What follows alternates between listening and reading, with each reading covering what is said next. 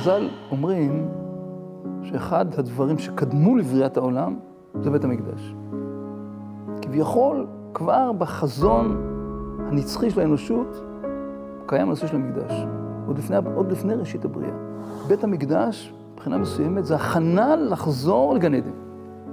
המצב האולטימטיבי של האנושות, של העולם כולו, מבחינה רוחנית.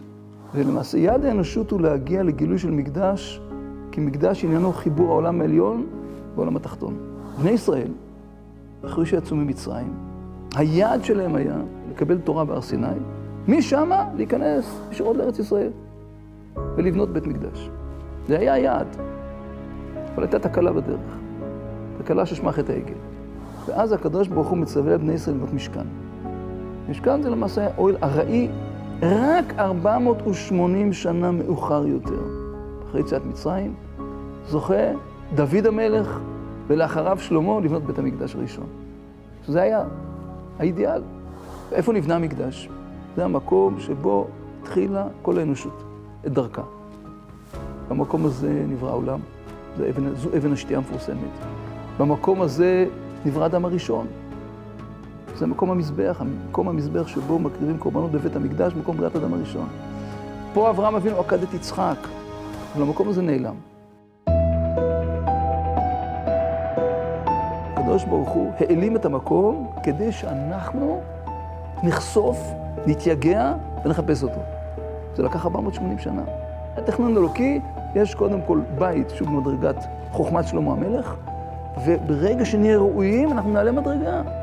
אז נגיע כביכול לשלמות, שזה מצב של מעין אותה חזרה לגן עדן. וזה, הייתי אומר, שלמות הגילוי האלוקי בעולם.